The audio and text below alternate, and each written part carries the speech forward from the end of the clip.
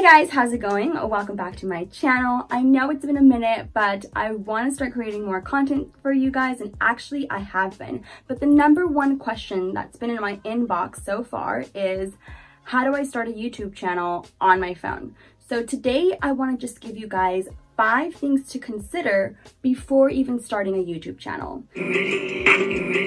Okay, here we go. Privacy, realistic expectations, strategy, monetization, and motivation. So starting off with privacy, before you start a YouTube channel, you should make sure that the email that you're gonna be using to register and create your account on YouTube is different from your personal email because it's really easy to hack into emails and you don't want somebody to just have access to all your personal mailing stuff and all of that. Plus it just makes it easier to separate YouTube from your personal stuff.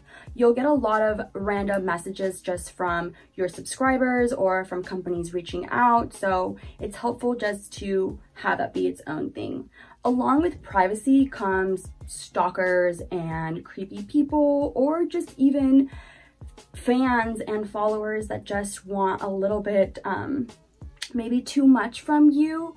I've seen this happening kind of like a lot lately, just people that'll find me on whatever platform I'm on, whether it's Twitch, YouTube, Instagram, and then they'll just try to add me on all the socials and then they'll want to hang out and it just gets just a little too far.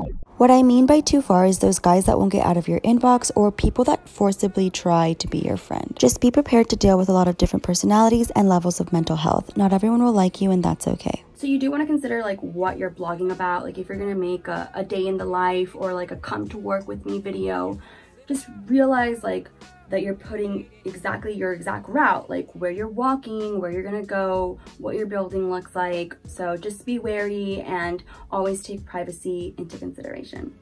So moving on to realistic expectations. What I just mean with that is that YouTube is really, really hard. I can film and edit a video in a day, but it probably takes me all day. To create a 10 minute video, I probably spend about 30 to an hour filming the footage and then another two to three hours editing the footage. So it can take a lot of time, be really draining, and there's a lot that goes into it finding the right lighting, setting up the green screen, putting on your makeup, doing research before you post a video, and then all of the strategy that goes into uploading the video because you want to make sure that your title is searchable, that your description has keywords. There's a lot more that goes into it than most people realized. It's high search volume versus competition versus views versus velocity.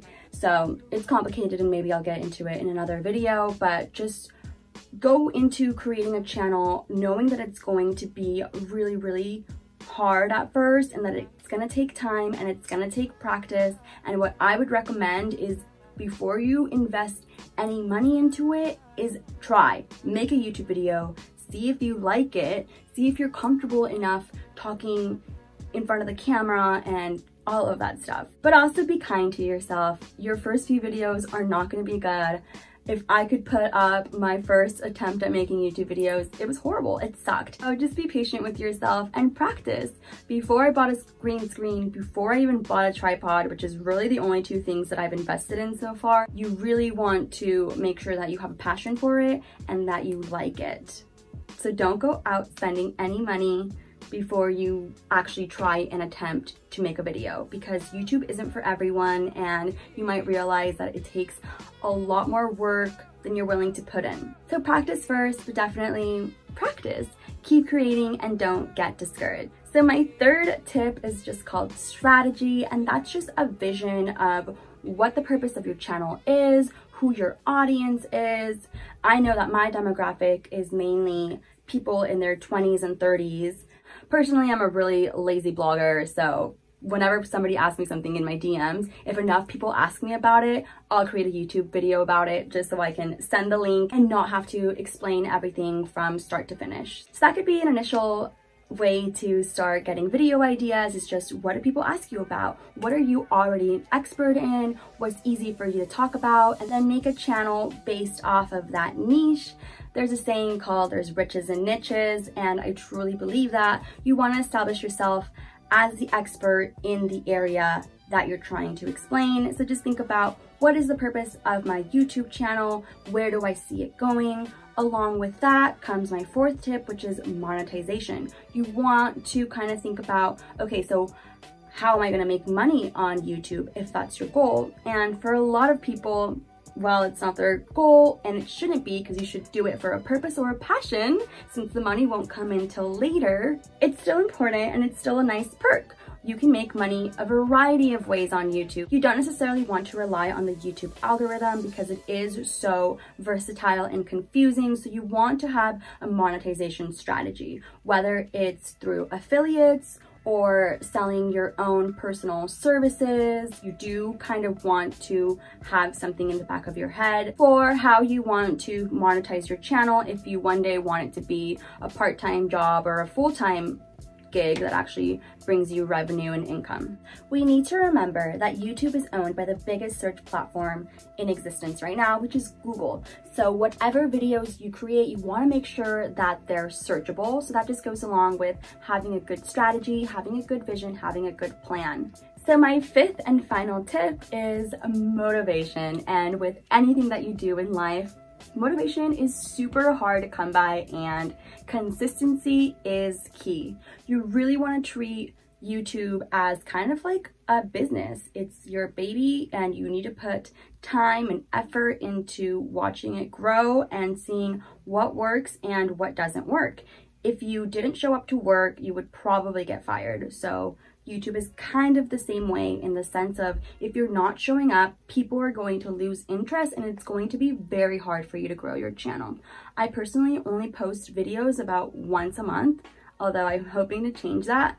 And I found that although my channel is growing, it's not growing as fast as maybe it would if I was more consistent about making videos and if I could actually choose a topic to talk about. But I'm just interested in so many things, but you know what? I can't be the exception. I have to be the rule. So you do want to create content that is kind of niched and that people can binge watch because the purpose of any social platform is to keep you on it for longer. So learn everything you can, do your research on the topic that you're going to talk about and try to make that topic into a variety of videos. So for this YouTube series, I'm gonna start with five things you should do before starting a YouTube channel, and then I'm gonna do, so you wanna start a YouTube channel, this is how to do it. And then your equipment, everything that goes with like maybe explaining Greenlights, iMovie, all that stuff can just be a continuation of your initial topic. Let me know down in the comments or in my inbox if you're a new creator